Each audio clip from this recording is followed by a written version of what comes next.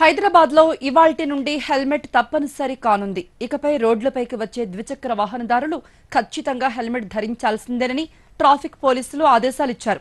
మొదటిసారి హెల్మెట్ లేకుండా పట్టుబడితే వంద రూపాయలు రెండోసారి హెల్మెట్ లేకుండా ఉల్లంఘనకు పాల్పడితే మూడు వందల వరకు జరిమానా విధించే అవకాశం ఉంది సుప్రీంకోర్టు కమిటీ సిఫార్సుల మేరకు వీటిని పక్కాగా అమలు చేసేందుకు పోలీసులు సిద్ధమవుతున్నారు.